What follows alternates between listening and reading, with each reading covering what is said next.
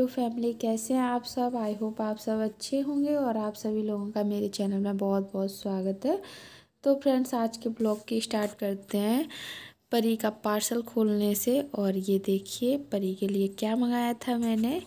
और यहाँ पे मैंने मंगाया था परी के लिए लहंगा और मैं जब घर पे थी तो लहंगा आ गया था तो दो चार दिन वेट करना पड़ा और ये देखिए परी का लहंगा कैसा है प्लीज़ कमेंट करके ज़रूर बताना। और ब्लाउज़ सिला हुआ आया है, लहंगा भी सिला हुआ है, बस उसमें नाड़ा नहीं है। और ये देखिए काफ़ी अच्छा लग रहा था ये, इसमें फ्रिल लगी हुई है।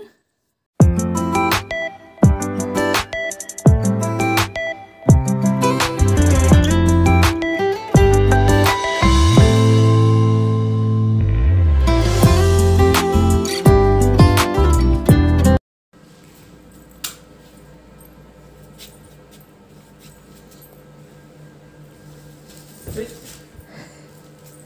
गई। गिर जाती है भैया। हेलो एवरीवन गुड मॉर्निंग और ये है नेक्स्ट डे तो फ्रेंड्स आप लोग कमेंट करके ज़रूर बताइए कि परी का लहंगा आप लोगों को कैसा लगा है। और यहाँ पे देखिए ये रखी है परी का परी की झोपड़ी है घर बोलो कुछ भी है और यहाँ पर रख गई थी मैं कपड़े कुछ, क्योंकि बारिश का मौसम था, बारिश हो रही थी तो मैंने सोचा चलो इसी में रख देती हूँ।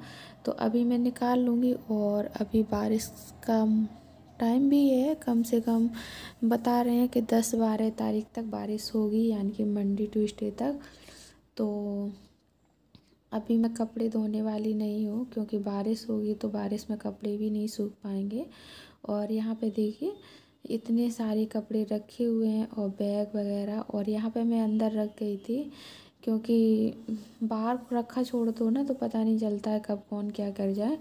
तो इसलिए मैं इसे अंदर ही रखा छोड़ गई थी।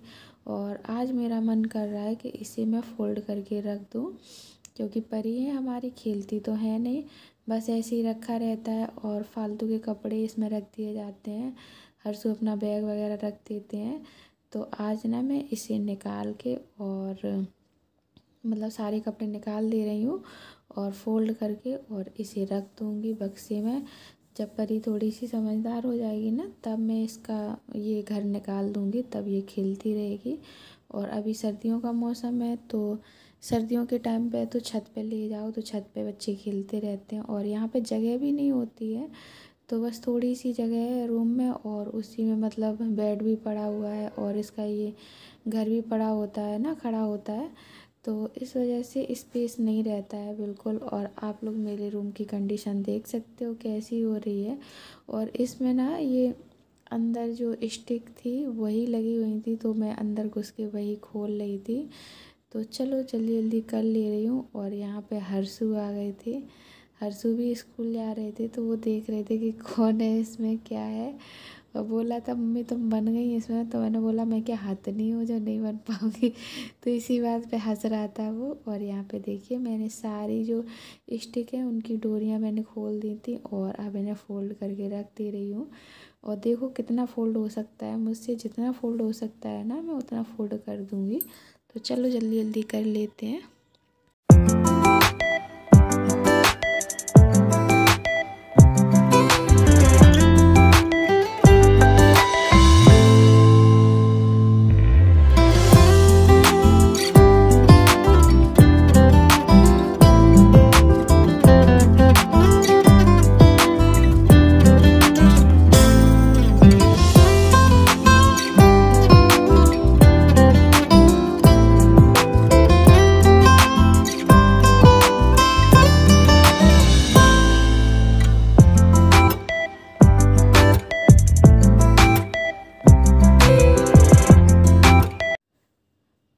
फ्रेंड्स ये देखिए, मेरे से फोल्ड नहीं हो रहा था। बार बार हाथ से खिसक जा रहा था ये।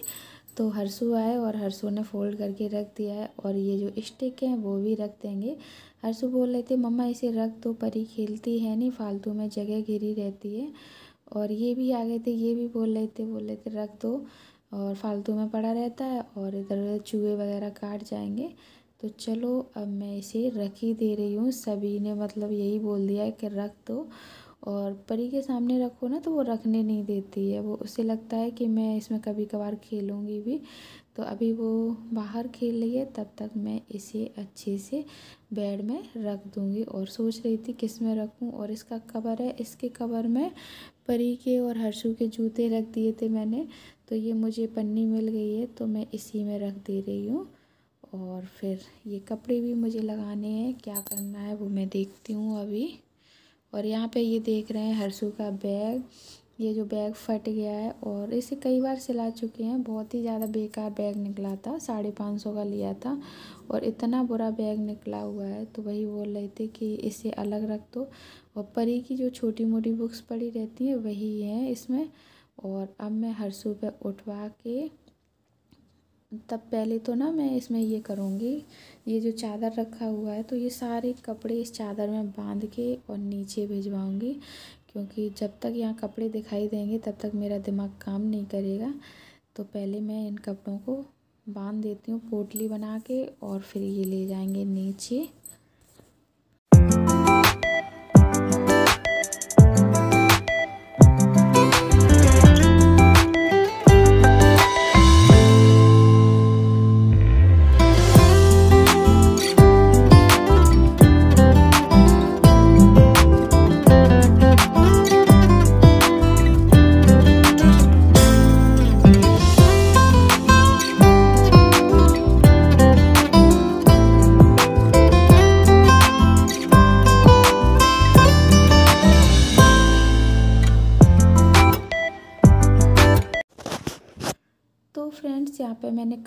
भिजवा दिए नीचे हस्बैंड रखाए थे और यहाँ पे देखिए बैग जो मेरा था, मैं हैंड पर्स लेके गई थी।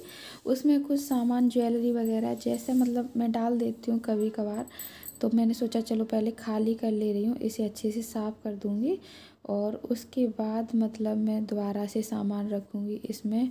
और यहाँ पे देखिए, पैसे भी निकल रहे हैं खुले और सारा सामान भी है। तो घर पे मम्मी की आदत क्या है कि मेरा कोई भी सामान बाहर पड़ा होता है ना तो मेरे पर्स में, बैग में ऐसे डालती रहती थी। तो वही पैसे वगैरह, ये परी के, हर्षू के जो छोटी छोटी चीज़ें मेरे पर्स में ही मुझे मिली थी तो मैं इसे, मैंने कहा, लाओ, चलो, साफ़ कर ले रही हूँ, फिर जो ज़रूरत की चीज़ें होंगी वो रखूँगी पर्स में और बाकी की चीज़ें मैं निकाल दूँगी बाहर। तो चलो जल्दी जल्दी कर लेती हूँ।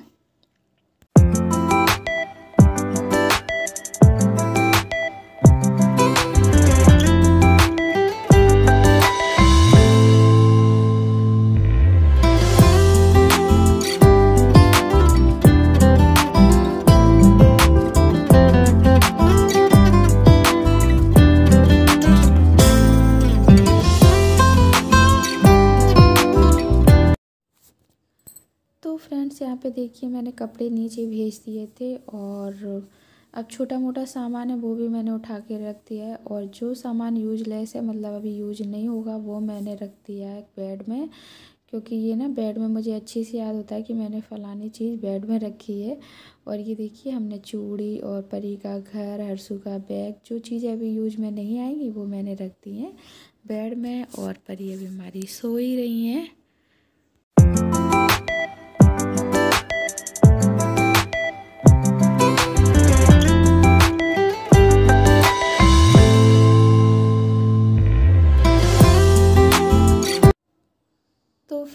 देखिए, मैंने अपना सारा सामान सेट करके रख दिया था। रूम भी मेरा आप लोगों को साफ़ लग रहा होगा।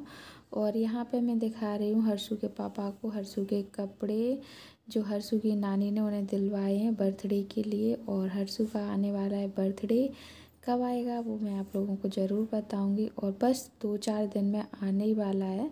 और यहाँ देखिए कुर्ते टाइप में, कुर्ता टाइप में जो टी शर्ट है शर्ट है, सॉरी वो है और जीन्स है और एक शर्ट है। तो ये चीज़ें आई हैं हर्षू के लिए और मैं वहीं से दिलवा के लाई थी। और ये थे अरसू के कपड़े और ये है मेरा सूट जो मैं अपने हस्बैंड को दिखा रही हूँ। पूछ रही थी, कैसा लग रहा है? और वो अभी देख रहे हैं और यहाँ बच्चों की चल रही है कुश्ती। तो आप लोग भी देख लीजिए और कमेंट करके ज़रूर बताइए, कैसा लग रहा है?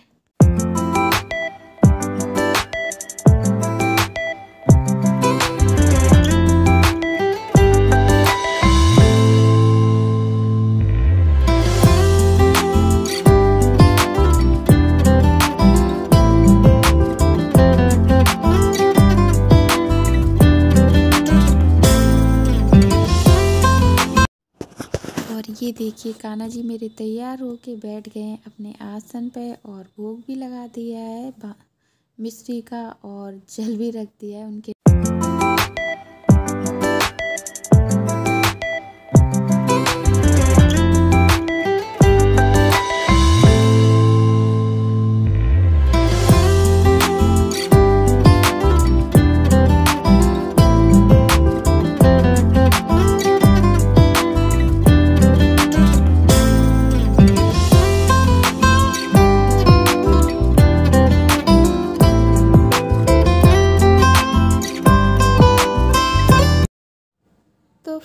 पूजा पाठ मेरी हो चुकी है और रूम की भी मैंने झाड़ा पोछी कर ली है। और यहाँ पे देखिए, अब मैं आ गई हूँ अंदर और ये है परी की डॉल। और ये रामलीला में ऐसे लेके आई थी ना तो इसके जो गाउन पहनी हुई थी तो परी ने सारी निकाल दी, उसकी गाउन भी निकाल दी, उसके सूज भी निकाल दिए हैं। और ये परी जब छोटी थी, दस पंद्रह दिन की थी वो तब की उसकी इनर है, जो गर्म वाली होती है, वही मुझे मिल गई थी तो मैंने यही उसकी डॉल को पहना दी है, और ये देखिए, अब कितनी क्यूट लग रही है, और अब मैंने इसे रख दिया है, और चलो, अब कर लेते हैं खाने की तैयारी।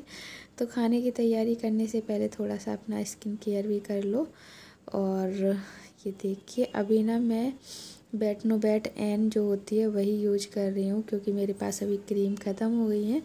तो मैं सोच रही थी अब जब करवा चौथ का सामान लेने जाऊँगी तभी लेके आऊँगी सारा सामान।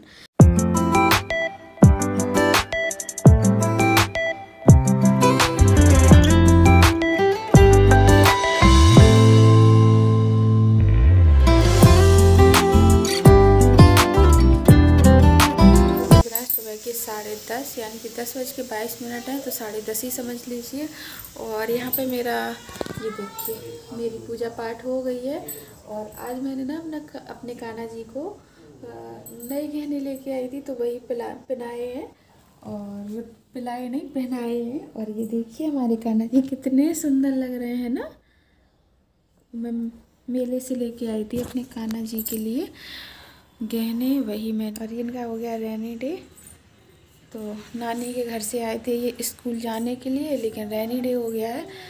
तो अब ये जाएँगे मंडे से। और यहाँ पे मेरी किचन की कंडीशन भी देख सकते हो आप लोग, बहुत ही ज़्यादा अस्त व्यस्त हो गई है।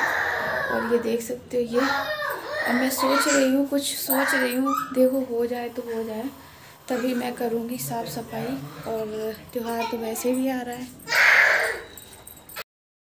तो फ्रेंड्स अब मैं करती हूँ ब्लॉग का अपने का एंड मिलती हूँ आपको नेक्स्ट ब्लॉग में। उम्मीद करती हूँ आपको मेरा ब्लॉग पसंद आया हुआ तब तक के लिए बाय टेक केयर जय माता दी। ध्यान रखिए अपना।